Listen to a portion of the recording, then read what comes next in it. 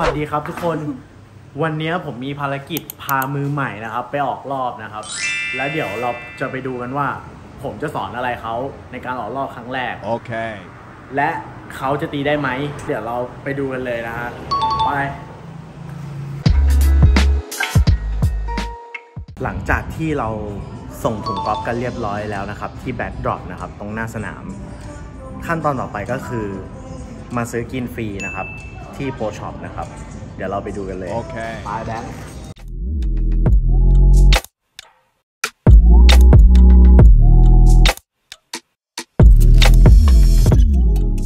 วันนี้ก็มีราคาโปรโมชั่นนะครับพันเจ็ดห้าสิบรวมรถ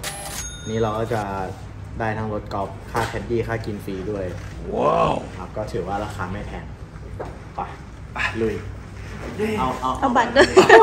ครับผมเอาบัตรนี้โชด้วยว์บันะตรโชว์บัตร โอเคนี่ก็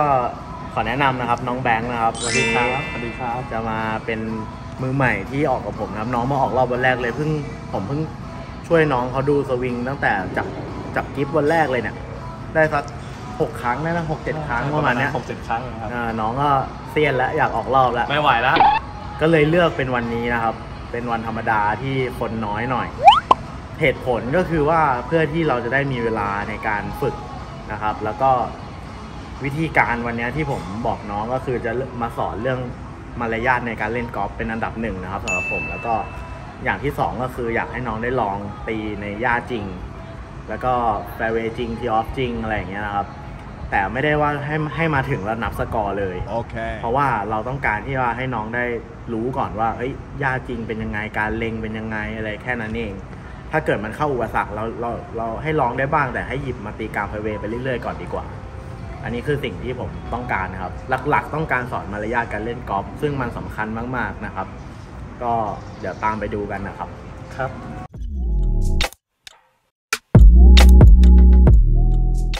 ครั้งแรกที่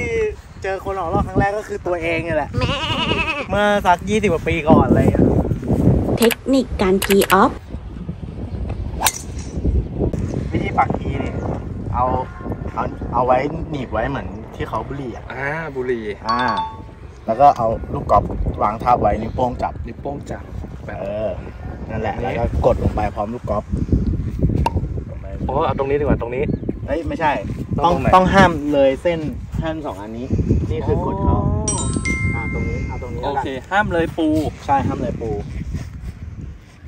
แล้วเราต้องกดไปสุดไหมอะประมาณนี้พอให้มันลอยขึ้นมาจากพื้นนิดนึง วิธีการเล็งสอนทีเดียวนะครับผมทีเดียวพอทีเดียวเลยนะวันนี้แล้วเดี๋ยวให้ทำเองหมดเลย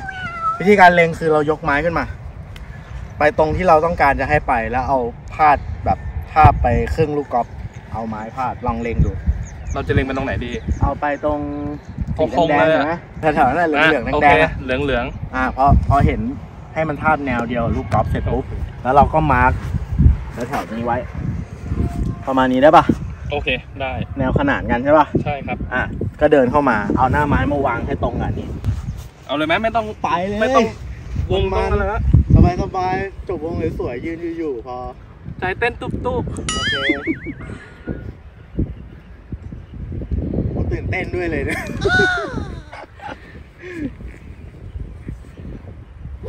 เป็นไง เฮ้ย เอาว่ะได้อยู่ไหมได้อยู่แปลว่า ได้ คือของจริงเนี่ย เวลาเล็งเวลาซ้อมในสนามไดฟ์กับมาออกรอบจริงอะ จริง ๆ แล้วมันแทบจะไม่เหมือนกันเลยนะโอเคสำหรับมือใหม่สำหรับที่ผมคิดนะ เพราะว่าการมีทั้งการเล็งทั้งการเข้ารูทีน การสวิงลมอะไรซึ่งส่วนใหญ่ในสนามไดฟ์ทุกคนจะเขี่ยลูกมาแล้วก็ตีตีตีไปเลย ไม่ได้คิดอะไรพวกนี้นะก็วันนี้ให้น้องแบงค์ได้มาลองดูว่า แตกต่างกันยังไง ลูกแรกตีโดนผมก็โอเคแล้ว เทคนิคการวัดระยะ วิธีการดูระยะ สีแดงส่วนใหญ่ทุกสนามเนี่ยจะเป็นร้อยหลา ซึ่งที่เนี่ยเขาวัดเขาวัดถึงธงเลย บางสนามจะวัดถึงแค่กลางกรีน แต่ที่เนี่ยเขาวัดถึงธงเลย แล้วก็สีเหลืองหันไปดูนี่ ระยะร้อยห้าสิบหลามีร้อยห้าสิบอันนี้ปกติเขาจะนับเก้ากัน แต่เราพี่เดาๆให้ก็ตรงเนี้ยประมาณร้อยสามสิบ ซึ่งถ้าให้พี่ถ้าถามพี่แบงค์หน้าตีประมาณเหล็กเก้าไม้เหล็กเก้าเด็กเจ็ดก็พอครับเด็กเก้าดูเด็กเก้าเด็กเจ็ดนู่นอะไปนู่นอะมาครับ โอเค ลุย ตามที่พี่บอกได้ไหมหลักการเราเล็งก่อนเล็งอ่าเล็งเล็งเสร็จปุ๊บ สวิงลมทีนึง จบวงสวยๆ จะไม่เหมือนในสนามได้แล้วนะ มาคิดเรื่องวงอะไรไม่มีนะอ่าถ้ารู้สึกว่าเก่งๆ ก็ให้หายใจลึกรีแลกซ์หน่อยเล็งดีมากโอ้โหสอนทีเดียวจะได้เลยอ่าเนี่ยโอเคกูฮาตรงมึงถอยมาอีกรอบนะมือใหม่มือใหม่แต่เข้าใจแล้วเฮ้ยมีแววผมบอกแล้วคนเนี้ยเด็กบ้านผมเอง โอ้สุดยอดโหประทับใจมากเลยครับใช้ได้สองออนนะครับผมหลุมแรกเย้โอ้โห เด็กหน่อยมันมาแข่งกับผมแล้ว จัดไป หลุมแรกนะครับ ตีสองออนนะครับ สวยงามเลย แล้ววันนี้เดี๋ยวผมจะสรุปให้น้องเขาคิดเนี่ย สักสามสี่อย่าง ว่ามีอะไรบ้างก็อย่างที่หนึ่งถอยมาเลงนะที่สอนเลงไปตอนแรกอย่างที่สองคือ ซ้อมสวิงลม ให้จบวงตัวนิ่ง Okay. ๆเหตุผลก็เพื่อที่จะให้เขาไม่ไปคิดเรื่องตีโดนลูกอะไรมากให้เขาตีตามสวิงของเขานะครับ จริงๆก็สักสองสองสามอย่างเดี๋ยวอีกอย่างผมค่อยคิด แต่ว่าเอาอย่างเงี้ยก่อน เทคนิคการพัด ลูกพัดยังไม่เคยสอนแบงค์เลยอะเออก็ให้ตามให้ตามฟิลไว้ก่อนอะไหนลองเข้าไปจดสิเอาลูกศรให้มันไปตามที่เห็นพี่พี่ๆเขาวางลูกเห็นปะ เนี่ยไอไอตัวจุดเนี่ยให้มันขนานกันไป เออ ตามที่เขาเล็งลงเราจะตีไปตรงนู้นใช่ไหมใช่เราจะตีไปซ้ายเดี๋ยวมันเลี้ยวเข้าทีเนี้ยแบงค์อะมองที่หลุมไว้ก่อนมองแถวๆหลุมไว้ว่าเออเดี๋ยวเราจะแกว่งไปให้ลูกไปแถวๆนั้นเหมือนเราโยนของไป ตอนนี้พี่สอนได้แค่นี้เพราะเรายังไม่เคยซ้อมกันโอเค ลองกากาดูเอาโอเคตบกี้แล้วลูก โอเค ไปตามต่อที่พี่เขาวางอะแล้วก็นุ่มๆเออ กา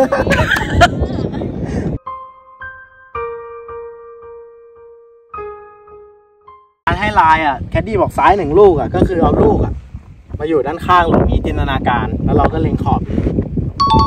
นะเขาเรียกว่าซ้ายหนึ่งลูกก็แล้วแต่ลูกใครลูกใหญ่ลูกเล็กเปล่ามาเล่นลูกใหญ่ทำเป็นลูกชิ้นไปได้ เวลาไปเล่นสนามทั่วไปมันจะมีวงกลม เขาจะเขาเรียกวง give ก็คือถ้าเราเข้ามาในวงเนี้ย เราไม่ต้องพัตต์ช็อตต่อไปแล้วเขาเขาถือให้เกียรติว่าคุณใกล้แล้วก็ยกลูกไปได้เลยเนี่ยทีเนี้ยแบงก์ก็แค่ตั้งใจพัดมาให้อยู่ใกล้ๆรัศมีนี้ก็พอ แต่ถ้าลงดีกว่านะแม่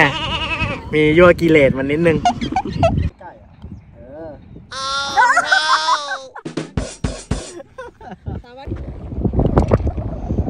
โอ้โห มันแรงเกิน ถ้าเราพัดแรงเราก็ต้องให้ลายน้อยกว่าเดิม Okay. โดยปกตินี่โดนลูกทุกครั้งก็แฮปปี้แล้ว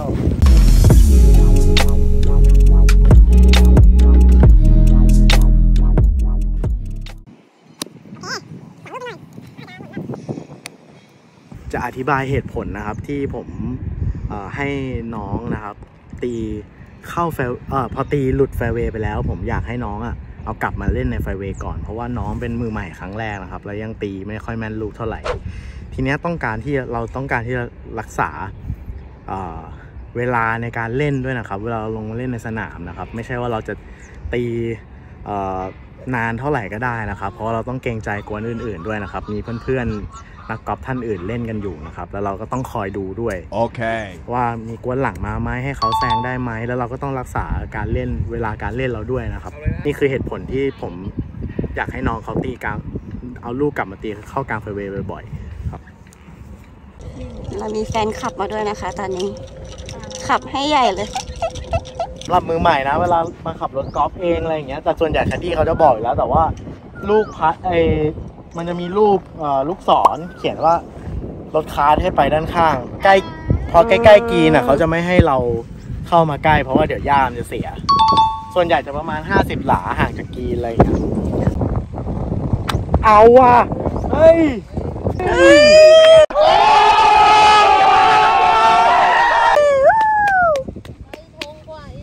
ล็ดลับการตีหัวไม้หนึ่ง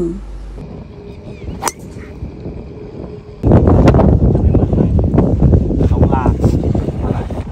ลากเข้าในหนึ่งฟิลลิ่งแบบอ้องแบบมันออกนอกแต่ต้องไปซ้อมลากให้มันเลียดแบบเสียงนะกิ๊กกิ๊กกิ๊กเลยเราต้องกิ๊กกิ๊กกิ๊กเยังไม่มีเสียงป่ะแสดงว่าไม่ลากมันยังไม่มีเสียงเหรอเนี่ยเสียงนะกิ๊กกิ๊กกิ๊กไม่ใช่หัวล้อนะเสียงหญ้าเอออย่างนั้นอ๋อ เออกิ๊กกิ๊กกิ๊กกิ๊กเฮ้ยพอได้อยู่ เทคนิคการชิปพัด แขนซ้ายเนี่ยใช่ปะที่บอกว่าให้ดันหน้าใช่ปะแล้วเราก็ล็อกไว้เราก็แค่หมุนไว้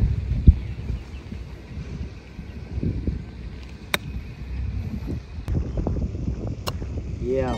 หลังลูกไปนิดนึงแต่ว่าผลออกมาโอเค แล้วเอามือกดลงไป แล้วเอาไว้ข้างหน้าโอเค นี่แหละโดนลูกเฉยๆเออเอออีกทีไม่ต้องไปตวัดงัดขึ้นเว้ยแค่ทิ้งเหล็กให้มันโลนโดนลูกลงไปแล้วมันไปเองโอเค มันน่าจะหนักไปแล้วมันยาวไปอะใช่มารยาทในการเล่นในบังเกอร์ ก็อันนี้เป็นกรณีที่ลูกของน้องแบงค์เขาตีตกทรายนะครับ แล้วทีเนี้ยเราก็ต้อง เดินลงทรายแบบถูกมารยาทในการเล่นกอล์ฟหรือว่าเขาเรียกว่าอะไรเอ่อให้พี่แคดดี้ช่วยพี่แคดดี้ให้เกลี่ยทรายได้ง่ายขึ้นก็มีอยู่สองช้อยนะครับช้อยแรกก็คือเอาทางที่ใกล้ที่สุด หรือช้อยที่สองก็คือถ้าทางที่ใกล้ที่สุดเนี่ย มันชันมากเราก็เดินจากทางเรียบเข้าไป Okay. อย่างช้อยนี้อะเลือกได้สองทางเลยเนาะแต่ตรงนู้นก็ได้ตรงนี้ก็ได้ แต่ถ้าให้ดีนะครับ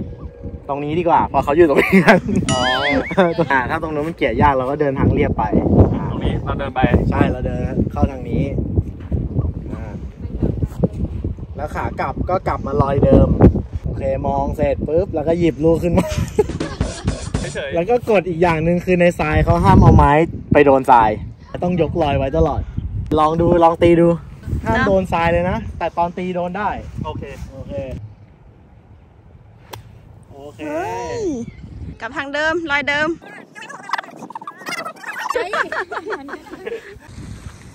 มารยาทเมื่อเล่นจบเกม พอเล่นเสร็จแล้วก็ถอดหมวกจับมือครับขอบคุณครับขอบคุณครับอ๋อ ยินดีที่ได้เล่นด้วยกันวันนี้อ่า ครับผม อันนี้ก็คือ นี่ก็เป็นอีกหนึ่งมารยาทในการเล่นกอล์ฟนะครับที่